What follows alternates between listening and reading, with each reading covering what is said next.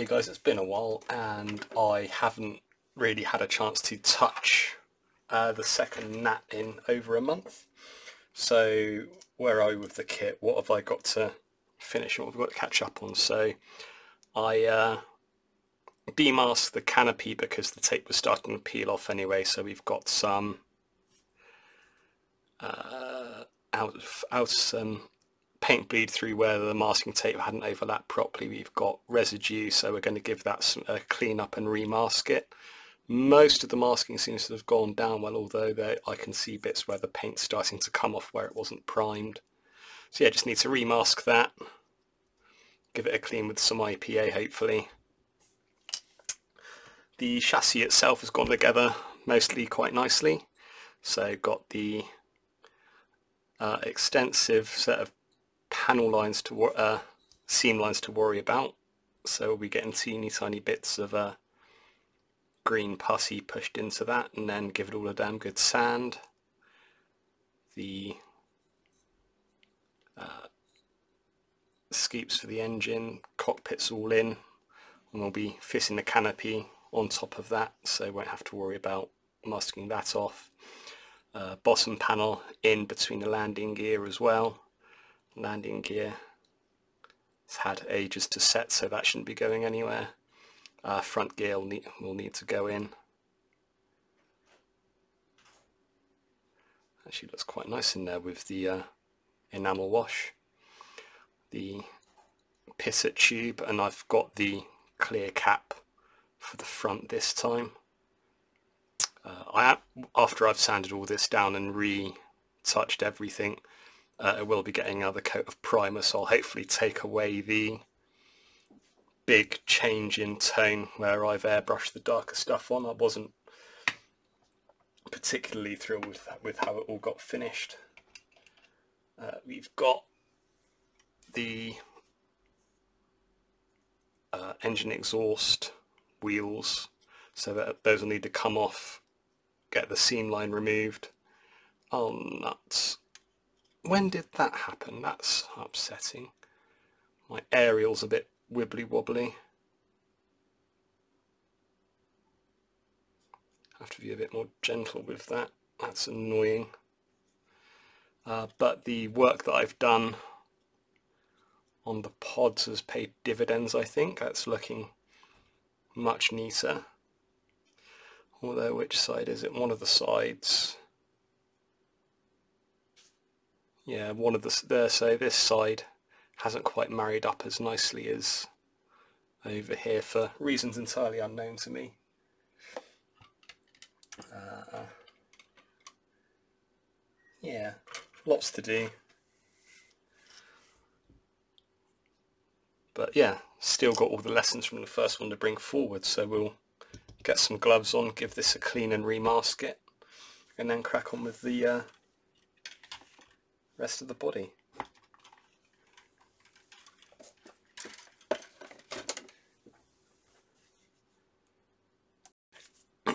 so um, that's the canopy cleaned back down. Uh, as, as, you can see the IPA has taken all, almost all the acrylic paint off. I also found some uneven bits where this came off the sprue so that's been dealt with there's uh, a bit of scratching. So I'm going to have a quick go at buffing that out with uh, some of the scratches out with a piece of uh, very fine emery board.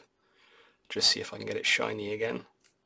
And as it's um well all gone back to basically bare plastic, I did recently pick up some of AK uh, gauzy agent, so gonna give it a dip in this and uh, leave it to dry whilst I pop out. Uh, maybe interest, I'm not sure if you can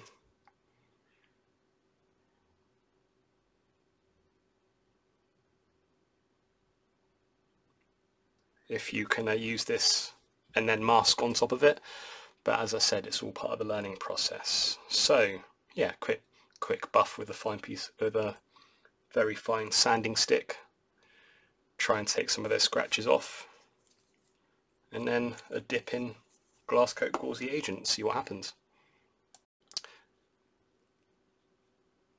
So we've uh, just done our dip. I can see that the gauzy coat is uh, almost like PVA. It's uh, all over. It's settling quite evenly. So what's, what do the instructions say again? Simply dip and let dry for a few minutes, clean excess around the edges to achieve a uniform layer for best results. Allow product to dry in a dust-free environment. So we'll put that down there, have a quick tidy up.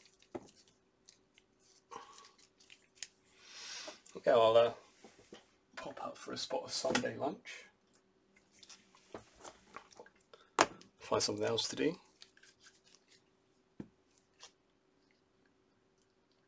Uh, come back and see how big a mistake this was or wasn't. But uh, yeah, we've got lots of, lots of little bits to do.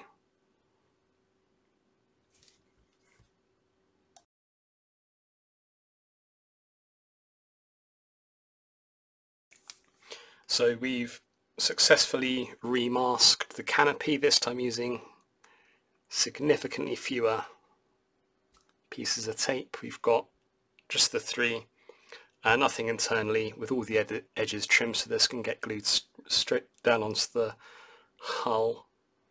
Uh, so uh, the uh, gloss coat has made along with the Tamiya tape, it's not particularly tacky, so I'm quite confident that that won't come up unless it sets and reacts over time. But that'll be another lesson learned. The uh, edges of the canopy were rubbed down with the edge of a chopstick and then just trimmed using a hobby knife. So I've gone from loads of longitudinal bits of tape to four bits of tape going over doing the canopy pieces and either end of the complex shapes first with a final piece going over uh, the gap. Uh, yeah, much happier with this job. Uh, it's practically new. But yeah, that's done. So what's next? Uh, get some gloves on and get some putty on the go start filing down and filling the uh, gaps in the chassis and we'll have another look at the wings as well. So guys, I've been coming across a few problems. Once again, the uh, forward undercarriage has decided to keep on falling apart. I've got it glued together again, but what I've noticed every time it fails it's uh, getting more and more fragile. So I have acquired the scale aircraft conversion uh, metal undercarriage set, uh, which I've already clipped out. And I've used some paint on base coat, nice flat black. So that's just about ready to attach. And I was uh, pulling, proverbially pulling my hair out, not pulling my proverbial hair out. I do actually have hair because on the actual kit itself, one of the rear undercarriage parts had worked. So internally, you have a, part that just rests next to uh, pieces that rest next to each other. And despite my best efforts with the super thin, it kept on working loose. But of course, I've because the parts were painted. So what I've actually what I've done, what I should have done in the first place, was I've just put a, tea, a little bit of super glue in there, uh, got the undercarriage chewed up. It's in position and holding quite nicely now. Uh, just took me a bit longer than it should have to realise that I don't, just because it's styrene. I don't have to use styrene glue this. I can use super glue and it's done exactly what I needed it to. Uh, when I ordered the metal undercarriage I also thought I'd get just because I needed to put the, the uh, postage price up. Uh, metal pitot tube. Uh, one of the uh, failings on the previous kit, of course, was it was getting knocked and dropped and it didn't really like it.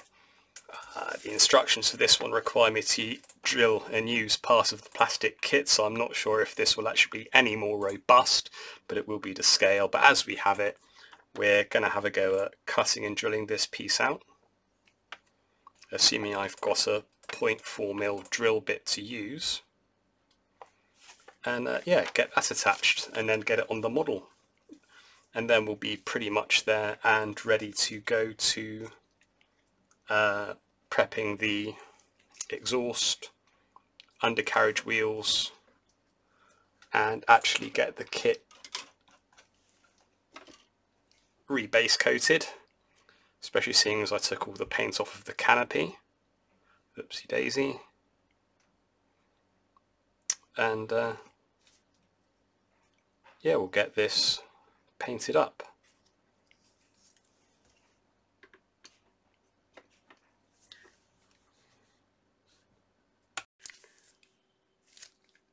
So having gotten this far, it seems I don't have the bit at the moment that I need to pre-drill the mounting points, so these are going to get bagged up. What we can finish this evening though is getting the undercarriage mounted onto the kit itself, so a little bit of disappointment, but I've now just ordered tools which should be here tomorrow and that'll let me get this finished. And I've also now got time to get the wheels off and seam lines removed, so yeah, just gotta spend the time a bit more wisely. So there we go, that's at least one of the problems I've been contemplating the last few days sorted. The undercarriages all in place. I'll have the pitot tube in place tomorrow and get it rebase coated, take the edge off some of the uh, darker detailing.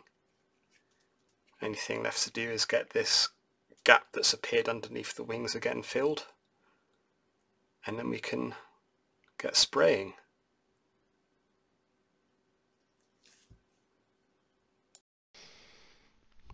Right, and here we are again. Uh, so I am now ready to start airbrushing the kits. We have uh, filled in, that's a really bad angle with the light, let's just dismount it from here.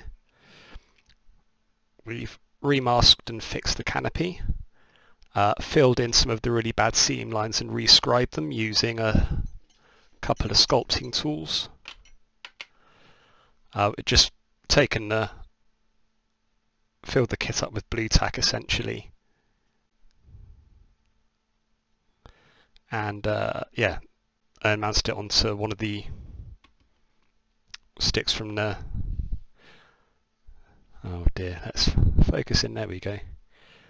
Uh, tidied up the seam lines on the underside and top around the panels with uh, bit of a mix of green stuff and milliput. I have drilled out and fixed the metal uh, pitot tube, fixed the met metal front undercarriage after ruining and breaking the original plastic piece and that's the original uh, pitot tube. There's just a slight difference in scale and thickness there. Uh, bagged up and filled the undercarriage bays.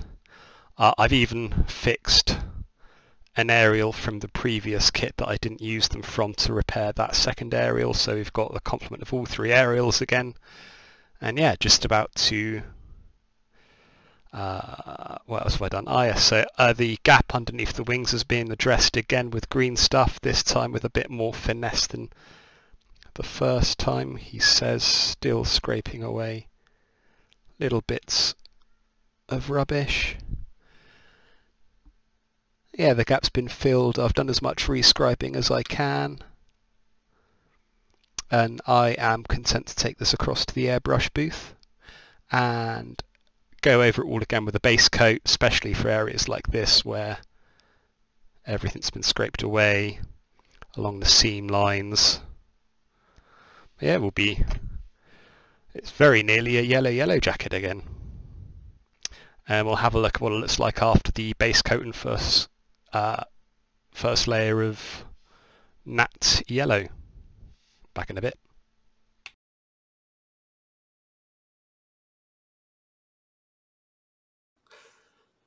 Right, so here we are after our first layer of the Hataka yellow, more specifically. Uh, the lemon yellow from the one of the RAF Aerobatic series. So we have uh, 3 to 2 to 1 to 1 ratio of lemon yellow, the Hataka traffic white I think, along with nice uh, so it's 12, 12 drops of the yellow three drops of the whites along with six drops of thinner and then three drops of the Vallejo flow improver which has helped immensely keeping the coat keeping the coat lovely and smooth all over. A little bit of coverage problems or just where I didn't quite make enough so the next one will be the same ratio but slightly more. But yeah we've got nice even lovely uh, it's dried beautifully it the quality of just looking at it from my perspective the smoothness and quality of the finish on the paint is so much nicer than my first go uh, there's no puddling there's no spider webbing from too much paint being applied in any one area the, the, the first layer on here has gone much better. Uh, adding the white has helped with the opacity, although you can still see even now some of my overzealous pre-shading is still showing through. And some areas are a little bit duller, particularly on the tips of some of the control surfaces on the nose, just where I didn't quite have enough paint to finish the coat. But we'll go on to uh, another coat and then we'll take the white out to remove the opacity and just help keep that nice dark colour uh, and help that come through. But yeah, first first coats on, and I'm feeling really confident about, uh, much happier with the quality of the finish, the consistency of the coverage, and how the paint's going down. All of this practice is really paying off. Right, on to the next coat. And here we are on coat number two. The coverage is, is much more even now. Sti so a little bit of texturing's come in, a little bit of stippling maybe, just if, if I'm being really pedantic looking at it, but it's still much nicer, much smoother, much more even uh, than my first go on the first Gnat. Uh, even got coverage on the on the pitot tube now. Uh, the control surfaces are much more even uh, all across. Uh, we've still got good definition on the, most of the control surfaces. Uh, underside's a bit squiffy because of what, where I've done filling and sanding, but that's me, not the kit. Uh, quite a smooth cover on the seam now on top, on top and underneath the nose cone. Uh, the joins underneath the wings, uh, painting in quite nicely. My uh, substandard technique with the putty showing through more than the materials. Yeah, it's going really well. So I'm going to be taking the white out and going with a darker colour. Hopefully smooth that uh, gradient you can just make out still uh, from the pre-shading that I managed to tow down when I re-base coated. But yeah, I think two more coats with uh, uh, without the white in, just to darken it a bit, and that'll be the top coat done, ready for a layer of gloss and decals. Exciting. It's going so much quicker and much nicer than my uh, first. This is really good. Alright guys, so it's uh, been a productive interval. We've desprued the wheels, got the black painted in with some uh, Citadel ba black base coat, got the uh, air brakes and undercarriage flaps often painted. Uh, more important, uh, and also these have also been lightly glossed. More importantly, the main kit itself has been glossed. Was still a bit pebbly, but not as bad as the first kit. Much cleaner. And actually looking at that with the uh, with the lights playing off of it, that looks really good. so we're ready for decals and a panel wash on this. Annoyingly, at some point, the uh, little bucket that goes in the back as the thruster has pinged off and disappeared somewhere.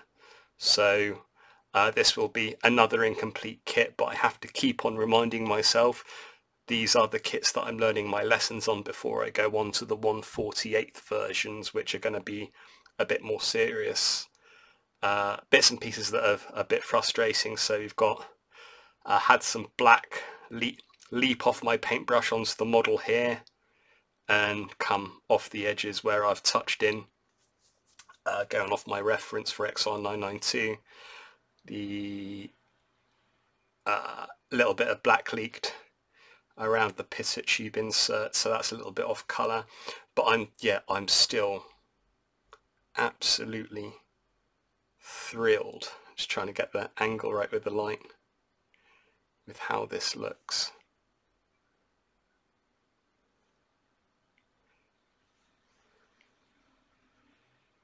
oh she's beautiful. So yeah we're gonna get some grey panel line wash and the decals on. Uh, a bit of black on the undercarriage just to help demark parts.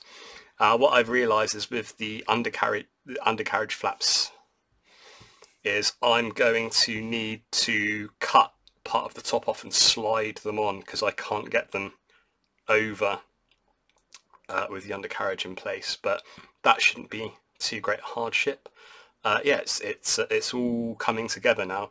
Uh, the lessons learned on the first kit have been applied here, so you know, adding uh, more thinner, more flow improver to help with the level of the finish has paid off, I think. A bit more uh, time. Uh, I'm not going to be pre-painting the sprues before joint before assembling.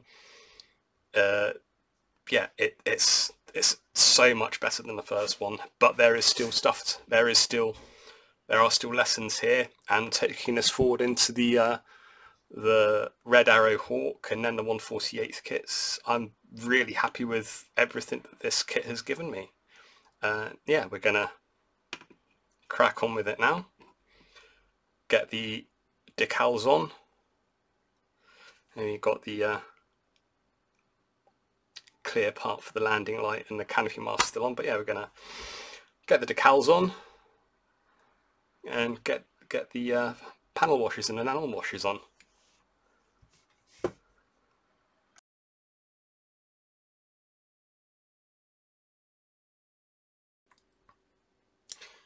So here it here is guys, we're uh, nearing the closing stages since the last video. We have put on an utterly delightful gloss coat. Still some pebbliness to it, but as you can see, it's, I, well, at least I think it's a much more uniform finish than my previous attempt. And you can also see we've uh, micro soled and micro set the decals on. Lovely panel lining coming through there. The, uh, yeah, it's really, really coming together now. Only thing that I've really let myself down with is the uh, undercarriage is a little bit skew. Not quite bob on, but it's learning experience. And annoyingly, I've uh, lost the engine nacelle, the exhaust nacelle. So that'll be missing ad infinitum. But yeah, we've got uh, panel lining, weathering on the undercarriage, gloss coat the lot, a little bit of matte on the tyres and that'll be it. Uh, be able to end the video. Finish my uh, second airbrush build and my fourth Airfix kit. Uh, I've got the Hawk, BAE Hawk T1 to move on to next, so we'll do something in red, and we all know red ones go faster so hopefully that'll get through the build process much quicker. I just love, even through the camera, this looks good. I just love looking at this already. Really happy with everything I've learnt on this. Uh, the quality of the finish, uh, the experience of mixing and uh, preparing the paints for the airbrush, the experience of getting the hole, tiny hole drilled in the tiny bit of plastic for the teeny tiny pitot tube, uh, the lessons learned with the undercarriage. Yeah, this has been a great build and it's nearly done. So we'll uh, get that parked and we'll crack on. Alright guys, and here we are at the end of what has been months of work because actual work's been taking me away, but shouldn't be doing that much anymore, so uh, the kits should be coming out more than once every two or three months. So from the summer we have my original go at the Gnat with the training squadron markings, although we still have the uh, lemon yellow paint scheme and the slightly different uh, looking effort from the last few months uh, in full Yellow Jack livery. Absolutely thrilled with the uh, difference between the two kits and the chance to apply everything from here to here and the fact that I actually had one complete kit to finish that was also pretty damn cool. Huh. Bits of undercarriage to the side, bloody hell. Uh, it doesn't really show up uh, on the camera with the lighting, but between the experimenting with different color panel washes and going really hard with the pre-shading on the first one, the difference in the coloring between the two is really apparent to me. I don't know if I don't know if you'll be able to see it. Uh, the, on, the only thing that I'm a little bit angry about is the fact that the uh, exhaust nacelle for the second one has gone missing. So and just have this uh, lovely empty hole on the back end of this one. So yeah we did everything we could with this. We had no canopy no uh, light cover at the front. We I learned that pitot tubes are incredibly fragile and liable to bend. Uh, metal ones are slightly more forgiving. You can bend them back without worrying about breaking them. This poor thing. Uh, I do have three aerials on the second one, uh, whereas I have none of them on this one. Uh, but yeah, they are between the undercarriage and the aerials on the on this particular kit, the Airfix 172nd, they are quite fragile. I had to cannibalize one for this one from this kit because you might be able to make out the shadow from the uh, two holes that they fix in where I didn't use them. Uh, yeah, just really thrilled. Give you a closer look.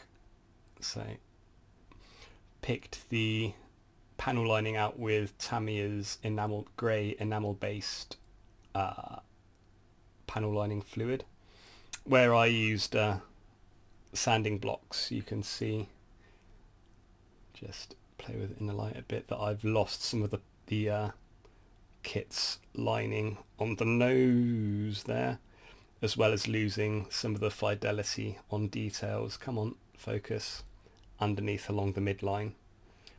But I did do, or in my opinion, I did quite a nice job tidying up the actual centre line from where it joins. Of course, Airfix did the uh, smart thing at the top, and I think it's the right hand side that the top part joins at, which has pretty much been completely filled in by the paint now. Nice sharp lines there. I really happy with this gloss coat. Look at that. Not perfectly smooth, but much nicer than the... Uh, if we Oh God, look at that. So that is from trying to use uh, enamel thinner to get rid of the panel lining and stripping off gloss coat. But you, if you look at the, don't know if you can see the dark spots from where the uh, lumps and bumps and pebbliness in that versus uh, not perfect but smoother finish on the second.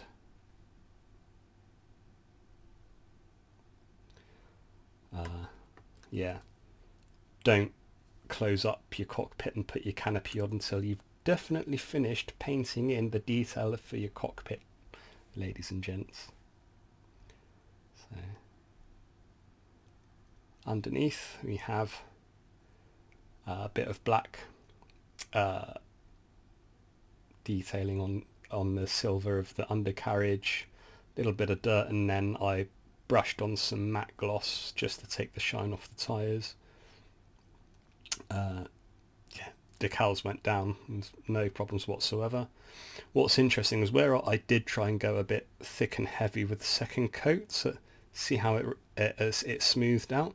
It did go down wonderfully smooth for the most part over the decals. Uh, but then because it the gloss coat particularly liked the decals it I can just make out the edges of them again it's particularly the uh, larger letters which is a bit weird yeah uh, I've had posted up the uh, photos on a few discord groups and in my local modeling groups and had loads of compliments on on the yellow. So I, I do have a 148th kit to do for this.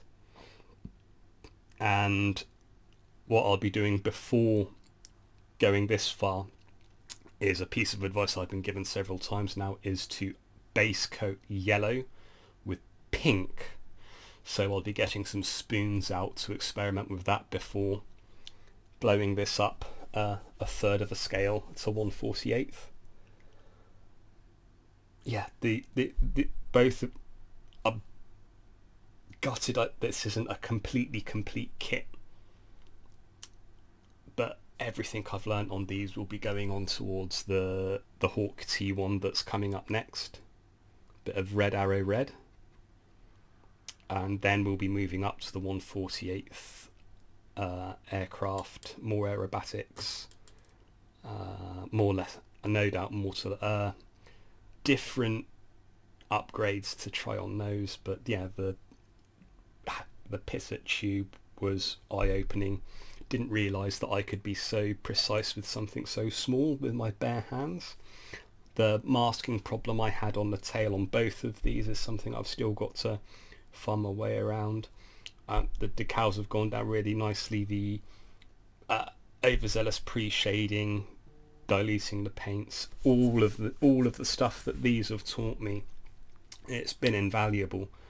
Uh, and uh, despite it taking so long, it's not because I haven't wanted to do it. It's just I haven't been able to invest big blocks of time uh, in getting this done. But yeah, I'm so thrilled with the end result and everything these that these kits have given me and I'm looking really looking forward to getting my teeth into the uh, Hawk next. It's just it's not focused properly. Oh well, yeah, getting my teeth into the Hawk and taking these lessons forward into that. Doing a better job there again and taking those lessons forward into the uh, kits that I'm hoping to take take around with me to thing uh, scale uh, display at scale models for my local uh, scale model conventions for my local group. Uh, onward and upward, yeah. But yeah, XR992 is flown by the Folland Gnat display team, a bunch of guys who are conserving the Gnats in the UK. Uh, I'll have links and information for them uh, below in the description and if there's anything else you want to know or want me to add for my, the process that hasn't been mentioned in all of my dives in and out uh, just let me know and if I can I'll get the information to you as quickly as I can. thank you for your time. Thank you for watching. Thank you for putting up with me and my rambling. I'm realising this isn't run on for nearly 10 minutes, but yeah, I hope you like uh, like what's coming next.